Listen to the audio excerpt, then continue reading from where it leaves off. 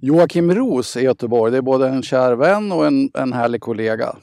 Han har gett ut den här publikationen under plats. Jag tänkte att vi först skulle gå på några utställningar. Det blir lite svenskt, lite danskt och lite norskt såklart.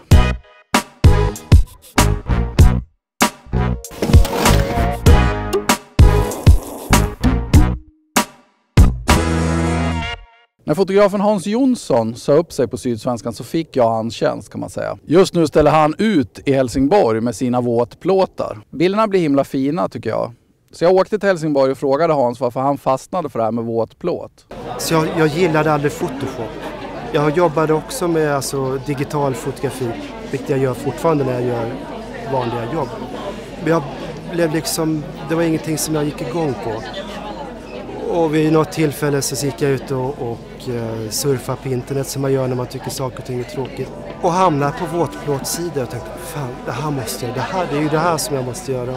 Och vad som är, vad som är så kul, ja men det är ju liksom hela processen, att hur jag blandar min egen kemi. Beställer liksom grejer från Polen, Tyskland, England. Sitter liksom med gasmask och rör ihop två milligram kadmiumbromid, kadiumbromid, två eh, gram av det liksom. Och eter och allt möjligt sådär.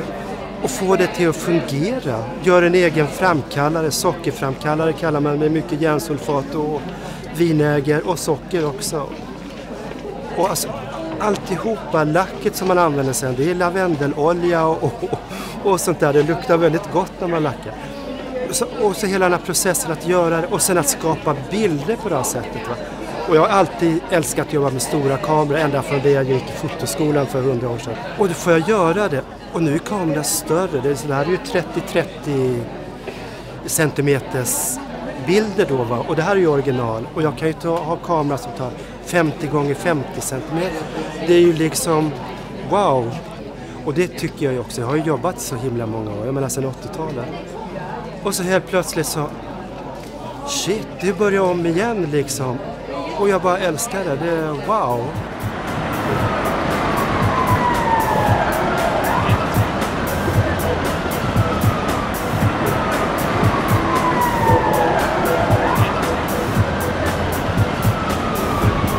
Nu är jag på väg till Köpenhamn igen och på Kungens Nytorg i Köpenhamn så ställer eh, min jurykamrat Sofie Amalia Klogert ut. Det var ju över 600 konstnärer som sökte till den här utställningen och det var bara 19 som kom med, så hon är en av dem. Följ ja. Jamen, jeg udstiller en serie fra øh, et større værk, der hedder Philosophy in the Bedroom. Og øh, den tage Jørgen fra danske swingerklubber.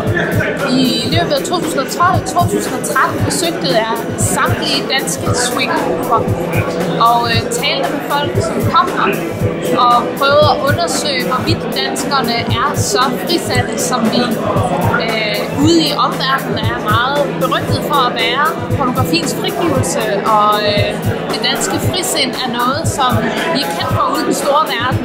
Men spørgsmålet er, om det stadig også er sådan. Tør vi tale om øh, seksualitet og lyst, eller er det stadig sådan et tabu? Øh, det var det, jeg ville undersøge, og endte blandt andet ved at lave den her serie af interiør, som på en måde er et billede på vår sexuella fantasier, eller idén om, vad danskarna godt kan lide. Det er i hvert fald sådan, som rummet bliver indrettet.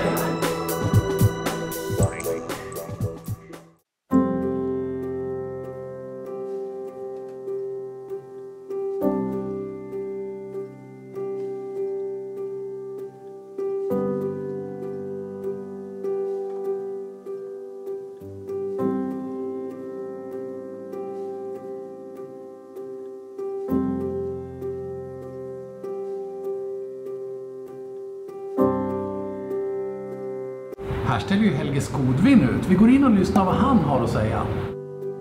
Detta projekt är uh, eh, A Movable Beast. Det är från när uh, eh, Naturhistorisk museum i Bergen skulle stänga och vara stängt i många år.